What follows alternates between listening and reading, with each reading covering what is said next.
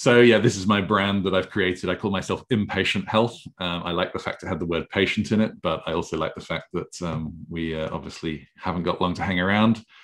Um, and um, I often start my presentations by saying, COVID is just an accelerant, or does it really have to be? I don't think it has to be. People talk about how uh, things have sped up, that our three year plans became three month plans when, when COVID hit.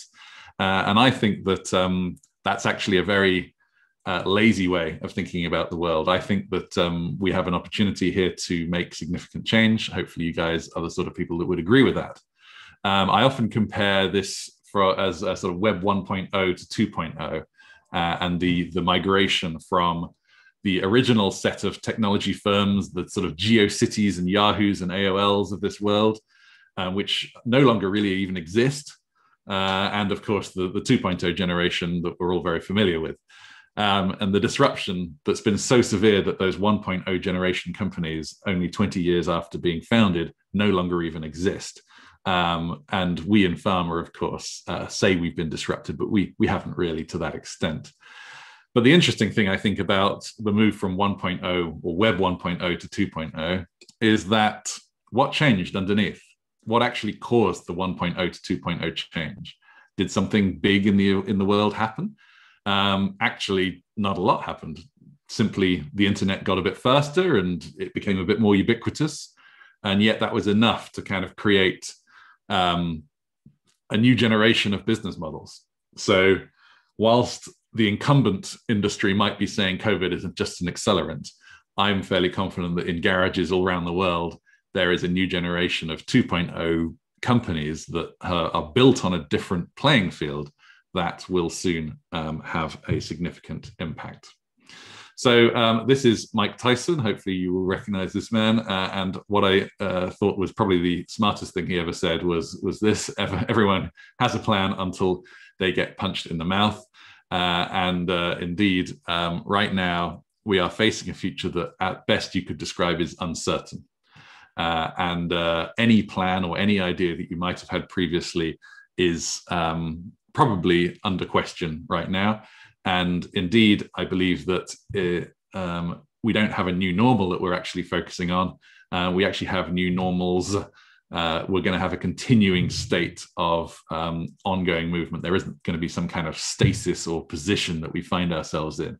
So, what we of course need is this uh, other rather often quoted phrase it's not the strongest or the most intelligent of the species survives, but rather the most adaptable. I feel this is an overused quote, of course, but I actually feel that right now is perhaps the first legitimate time to actually use it. Uh, I uh, we need to be flexible and adaptable as opposed to actually having a single plan at all, and that is going to um, uh, sort the winners from the losers going forward. Um, I'm not going to talk about agility and, and things like that and, and that today, which I, I'm sure you're all familiar with. But what I do want to talk about is uh, something I call unconscious wellness, which might sound like a bit of a paradoxical phrase. Um, and it's designed to sort of illustrate the change in consumer behavior that I think will um, influence healthcare quite significantly going forward. So, um, one way of uh, starting at this is to think about the fact that, of course, on our um, own phones, um, this is the typical readout you get when you work onto a health app. And, you know, there's a lot of information here. I would argue perhaps too much information. Um, it seems to me that um, there's this great desire at the moment to provide transparency, to provide measurement, to provide readings, to provide all of this information. Um, and uh, I would argue that that's perfectly fine for a very small segment of the audience that enjoys reading graphs and enjoys getting into their own personal stats. But it's actually not good enough for the vast majority of people who are not excited about graphs and not excited about looking into their readings. I told Jim the other day I discovered that the distance I have between steps is 73 centimeters. Well, you know, what the hell am I going to do with that information? Um, but it's it's there on your phone if you if you look for it. Um, and then I think about something like YouTube, which of course, again, we're all familiar with. Um, but YouTube, man, it's what a hassle. You actually have to know what video you want to go and look for. You actually have to type something to a search bar. That is, of course, far too inconvenient for our modern times. And it's why perhaps uh, we have a rise in other alternative platforms like TikTok, where you no longer have to choose what it is that you're looking for.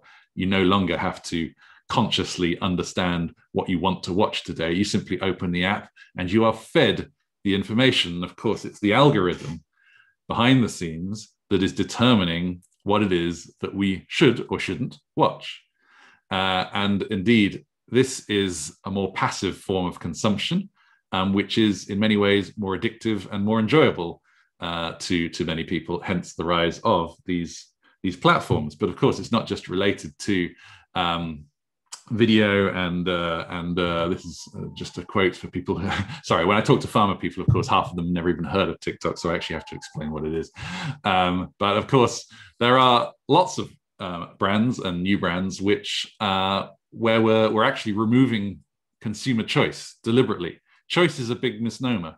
The average consumer doesn't want choice the average consumer wants to be helped into a decision and perhaps even have had, have had that decision made for them. And uh, I'm sure you're familiar with many of these companies um, which which uh, where the well the algorithm is the is the is the is the uh, selector for uh, much of what we consume. Uh, as we become busier in our lives, this kind of passive uh, stuff is becoming absolutely key. And uh, uh, a good uh, good person that I follow, maybe some of you guys do, Scott Galloway, often refers to this as uh, a-commerce as opposed to e-commerce, algorithmic commerce. Uh, I think we're going to now move into a wellness, algorithmic wellness, where it's not necessarily a conscious choice. Remember those graphs I showed you at the beginning, where we don't have to be experts in reading our graphs and understanding it, where we are either through more subtle nudges or through uh, actual guidance and uh, moving almost towards a digital twin model,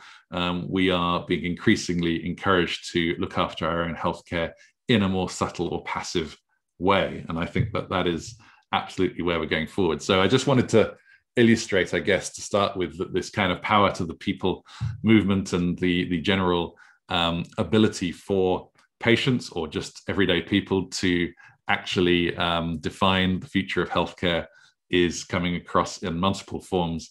Um, in pharma, of course, we tend to think that um, the only form of healthcare comes from drug research, which, you know, to everybody else listening in this room, you know, that's probably the last form of healthcare that you think of. But uh, we, we in pharma, we get blindsided as to, to what the what the possibilities actually are uh, in terms of of of, of um, preventative care and wellness.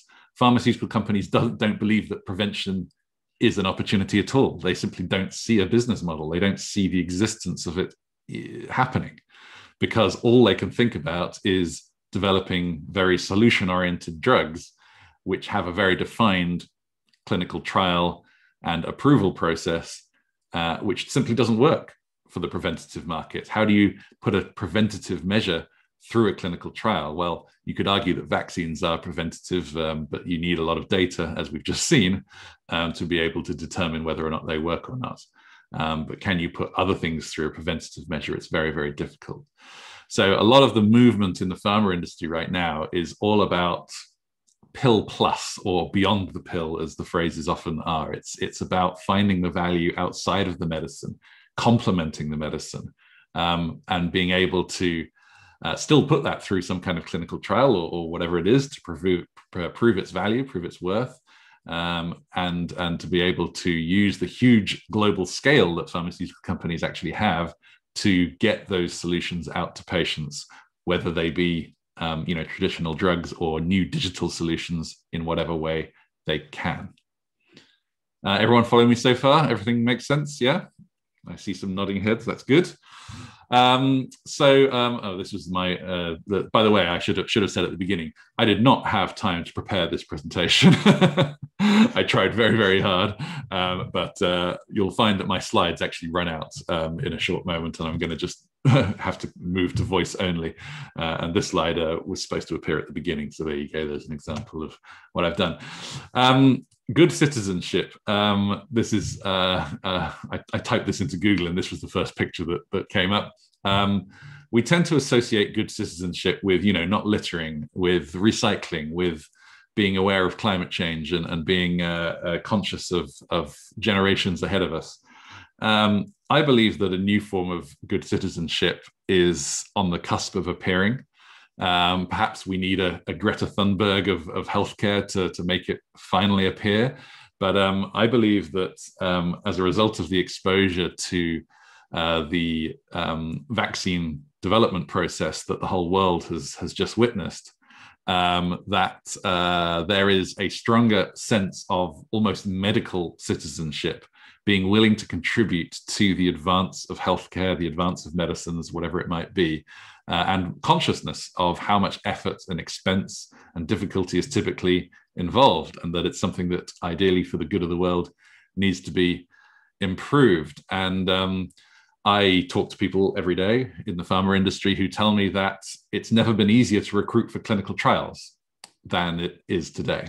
Why? Not because the technology's necessarily helped, not because the world has necessarily changed, but simply that basic awareness of what the hell is going on and the fact that it is a potential possibility for some people, particularly those who are frustrated with the current healthcare options. Uh, and, uh, and so they're finding it a lot easier than ever before. Uh, I'm not sure if you're aware, but every single day that a clinical trial is um, delayed, in the pharma industry is usually equivalent to about $8 million in lost value for a drug. So, time is the most expensive factor when it comes to building and making clinical trials work. It's the, it's the enemy. And the simple difficulty in finding and recruiting and consenting and profiling and actually managing patients into a clinical trial is something which you would think we had figured out by now, but it's still archaic. It's still incredibly traditional. So, um, something that I would love to explore, perhaps with you guys, or certainly I'm exploring it with other people already, is this idea that um, we could actually produce a new kind of business model in um, the pharma industry or in or in in the development of, of medicines. Um, and when I showed this um, Web uh, 1.0, 2.0 picture earlier. Um, something that's very interesting to me is that all of the logos on the right relate to a single type of business model, actually, um, which is what I call a platform business model. And there are many uh, uses of the word platform. It's a bit of an overused word. What I mean by a platform is something that brings together buyers and sellers. And all of these logos and all of these companies are effectively middlemen. Google was probably the first, simply bringing together web browsers and web website creators. And the search engine was simply a way of connecting the two. Um, obviously, you don't need me to explain how Uber connects passengers with drivers and Airbnb connects property owners with people wanting to stay. But of course, the old adage of uh, um, these companies don't actually own their product, but they simply um, connect people that do is very key. Uber doesn't own any cars and Airbnb doesn't own any properties, etc. I think there's a new business model available for a new kind of company which creates drugs but doesn't own them. And that would be just in that definition completely unique because right now every single company that produces drugs owns them and in fact they own the entire chain. That's why these pharma companies are so huge. They own the uh, the, the 10 year development process and the 10 year commercialization process that is inherent in every single drug you take. Not sure if you guys know how expensive it is to produce a drug right now. It's doubled in the time that I've been involved in the industry to about two and a half billion dollars per drug on average. So it's not small fry to develop a drug. You or I are probably not going to develop a pharma company anytime soon. Um, so, um, anyway, um, I think there's a way of combining this new desire to contribute to healthcare and the platform style business model, which would effectively create almost like a bottom up pharma company or a bottom up medicine organization, as opposed to the only top down method that exists today, where you sort of say, I've developed a molecule in a lab, now I need to go and find the patients. Well, could it not be possible for patients to be volunteering their, their data into a system that then identified where drug opportunities or healthcare opportunities in general could actually sit. Do you need a large number of people? Probably not. You probably don't need um, more than 0.01% of uh, people in the world to actually want to contribute to medical research for something like this to actually be viable. So, um, so I believe that there is uh, a new opportunity, and I think this my slides are going to run out very soon. I've got a couple of slides here on obviously the network effects that platforms create and why the value of them um, becomes so strong. You can actually use something called Metcalfe's law to determine uh, indeed how, how valuable networks are. I'm not going to go into that. Um, I have all sorts of stuff about different types of platform company and the different business models that they have. Um, but as I said to you earlier, the largest companies today either are platforms or have largest platform components. Um, and 67, 67% of unicorn startups are indeed also forming this platform business model. Uh, you can even read about it if you like. Um, uh, and it's interesting that platform-based companies are typically valued much higher than more transactional and traditional business models by definition, and in particular subscription-based platform models with recurring revenue bundles that happen in various different ways. Um, right, so yeah, my slides run out here, but let me just go uh, a cappella for a moment, if that's all right. Um, I believe that there is an opportunity to create a sort of Web 2.0 drug development organization, um, which um, potentially rewards patients or people for voluntarily uh, offering up their own data into a into a new organization that isn't a pharma company. Um, pharma companies are obviously not trusted; they they have a very poor reputation, and so that's another reason why a new form of organization is desirable here. Um, but there is absolutely no, reason why you can't almost gamify or um, find other ways to encourage patients to contribute their data. And one way of encouraging them is, of course, um, financial reward, um, because it's certainly true that pharmaceutical companies and other organizations pay for data. They pay huge amounts of money for data today. Um, it's just a very inefficient process in actually producing it. And there's absolutely no reason why that money could not be distributed in a far smarter way, such that it could actually fall into the pockets of those who are contributing the data in the first place. Of course, you're probably familiar that there is a very strong movement uh, these days against organizations that feed off people's data but without rewarding them for it. And uh, that happens in multiple uh, industries, but particularly in healthcare. So um, I have sort of conceptualized uh, a, a, new form of company, um, which basically bring, brings the researchers on one side and the patients on the other into the same ecosystem. At the moment, they exist in very separate ecosystems, and that's part of the problem. Uh, and uh, it uh, provides a sort of dashboard for people who um, effectively want to earn from contributing their data. Um, if you think about that earning analogy, you could almost say the salary of those people is is how much data they're contributing on a daily basis, and their wealth or their bank account is how much um, they've contributed or how much they've uh, earned over time.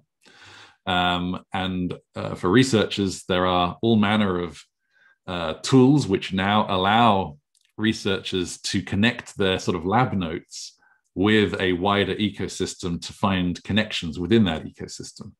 So you can imagine that those same technologies could be used to identify where researchers care about new health opportunities and match with the patients that are actually going to um, help them as they try to recruit for clinical trials, as they try to understand the data landscape and find opportunities.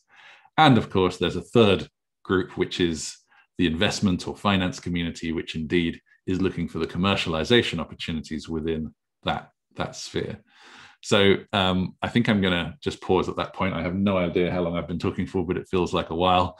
Um, and um, not going into obviously a massive amount of detail on this new concept because I don't want to overload you guys, but uh, I'm very happy to chat about opportunities, questions, um, I, I, can obviously tell you pretty much anything that you want to know about the pharma industry as well, if that's interesting to you, about where the challenges and opportunities are and how they see the world.